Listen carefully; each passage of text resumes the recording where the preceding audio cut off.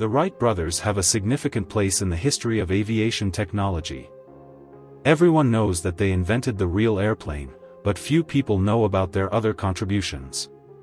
They patented and monopolized some of the airplane technologies, which greatly hindered the development of airplane technology for a while.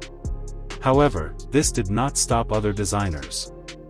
Many innovative designs were proposed, which had a huge impact on future generations, such as ailerons and flaps, which are still in use today.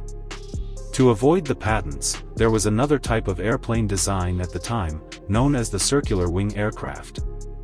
Compared to the Wright brothers' straight wings, the circular wing design featured a large circular wing enclosing the fuselage in the middle, resulting in a smaller wingspan but a larger wing area. American designer Chance Vought greatly admired the circular wing aircraft. He believed that a larger wing area would improve the aircraft's performance. He is also considered the founder of the circular wing aircraft.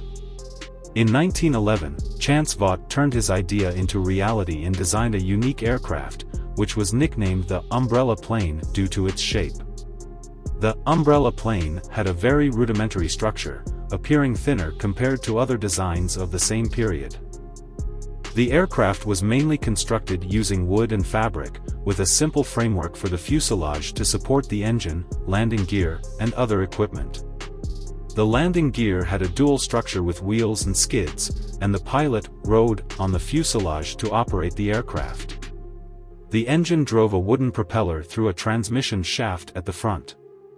Nine wooden beams radiated outward from the fuselage as the center of the aircraft, connected by fabric in between, providing stability.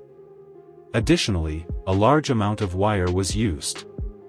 This fabric formed the aircraft's wings, which appeared as a nonagon when viewed from above, with a small vertical tail at the rear.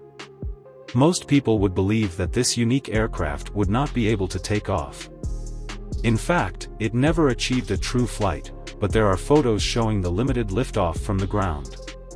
Although Chance Vought dedicated himself to the development of circular wing aircraft, this structure has not become mainstream. Only a few experimental models were produced, and Chance Vought did not live to see a perfect flight. He passed away in 1930 at the age of 42 due to sepsis.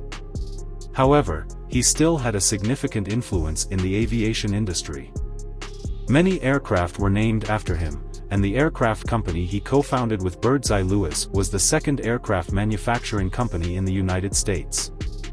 A few years after his death, the United States launched a circular wing aircraft called the Sun Umbrella, followed by the more famous Flying Pancake, which can be considered as the successful development of circular wing aircraft.